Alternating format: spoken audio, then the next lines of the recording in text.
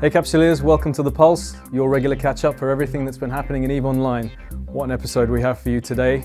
The CSM were here last week for their summit, and as promised, we have a summary of everything that was spoken about, so we're going straight to CCP Dopamine.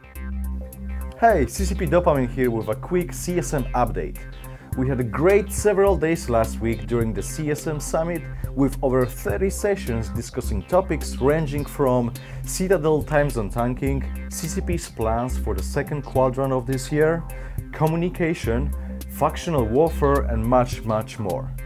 What has been great specifically were the presentations delivered by the CSM members themselves on the subjects like the state of the industry or non-consensual PvP.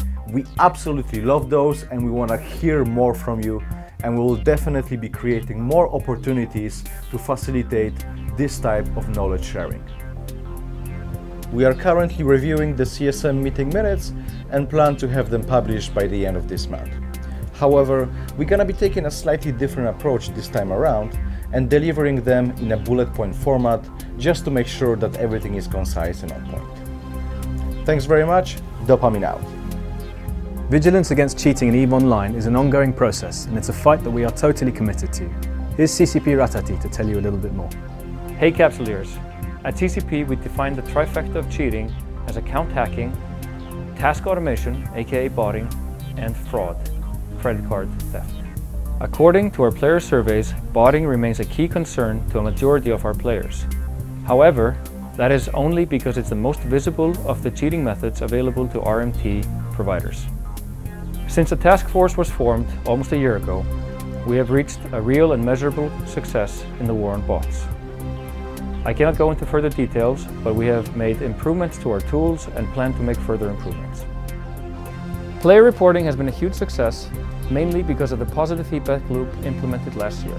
Keep those reports coming, and remember, no one is banned on reports alone. Even though visible botting still exists, we can assure you that our strategy has reduced the impact of botting on the ecosystem by over 80% in the last year. That is both the number of botters and the wealth generated. Account safety is something we care deeply about, so please enable two-factor authentication on all your accounts. Finally, buying ISK from RMT organizations is just as bad as botting, stealing credit cards, and account hacking. The RMTers are doing all of those things, and by buying from them, you are condoning that behavior. We enforce a zero tolerance policy on all forms of cheating and we will not rest until we achieve that goal. Be well and fly safe. He's cloaked, he's hiding in wormhole space, it can only be CCP content.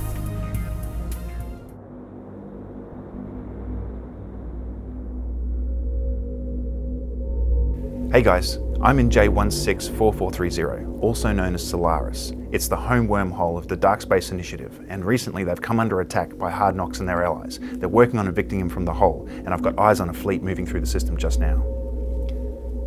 And it looks like they're wearing the new Oasis of Faith skin, available in the new Eden store now for all Amarr ships. For as little as 55 plex, you can pick up one of these skins for your frigate, destroyer, cruiser, or battle cruiser. And there's also options available for battleships and capital ships. And they look absolutely fantastic. Who knew Amarr ships would look so good in green? Apart from Visium, of course. But that's right, I just remembered. The skilling is just a means of communication event, is in effect until the 14th of April.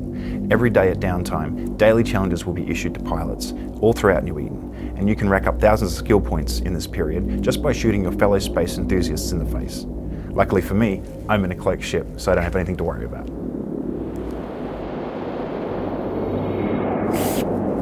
Ice stabs, don't fail me now.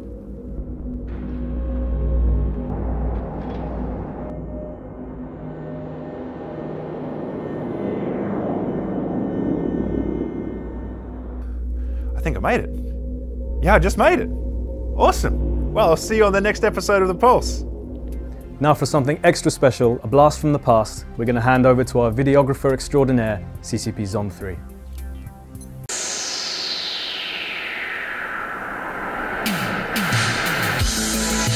Hey!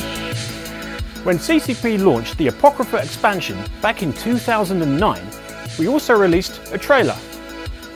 For those of you that played the game back then, you might remember the trailer was mysterious. There was no dialogue. The music was spooky. It felt strange. It felt Alien. As it happens, a voiceover was recorded, but there was much internal discussion at the time over which version of the trailer to release, with voiceover, without voiceover. Ultimately, it was decided to go with the version without voiceover, instead letting the music take centre stage, enhancing this feeling of mystery and um, strangeness surrounding the appearance of wormholes across New Eden. 11 years on, and we thought it would be a good idea to show you the other version, to let you experience it from a fresh perspective. So here it is, version 2 of the Apocrypha expansion trailer.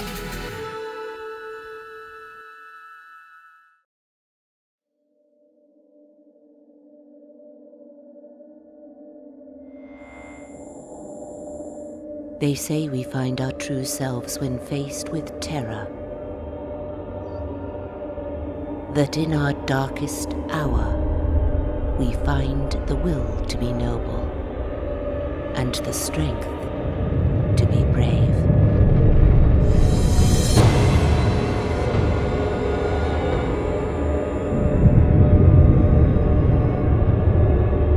Our virtue will be tested as never before. As we venture towards the haunting image of our past and find a legacy both alien and familiar.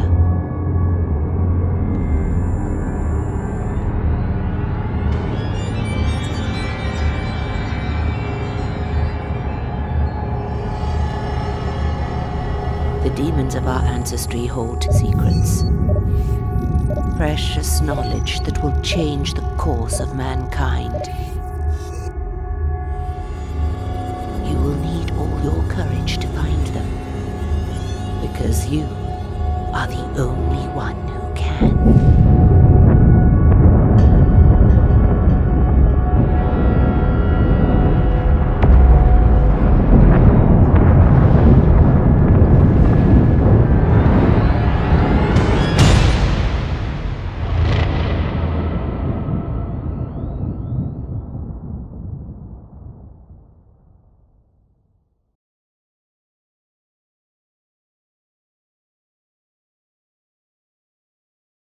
You can't have a wormhole without a worm, so while we're on the subject of wormholes and life forms living in isolated regions of space, there's been some interesting developments in the Reykjavik office this week. As you may know, we will soon be moving to a new building here in Reykjavik, and the fish tank in the current office is being cleared out. While cleaning out the tank last week, a one metre long worm was found that is believed to have been living there for up to 12 years. Having probably arrived as larva on coral, this creature, dubbed Valdimar, has undoubtedly been secretly ganking intruders into its space. The story was even covered by local news here in Iceland. So if Valdimar has gotten this big in 12 years, how big can we expect him to get in over 20,000 years?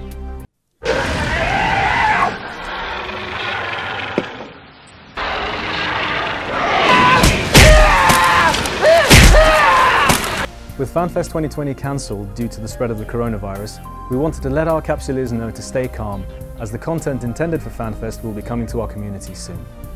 That's all for this episode of The Pulse. Remember to hit subscribe to stay up to date with all the videos that we post. And if you've missed it, you can catch last week's episode of The Pulse as well. See you next time, Capsuleers.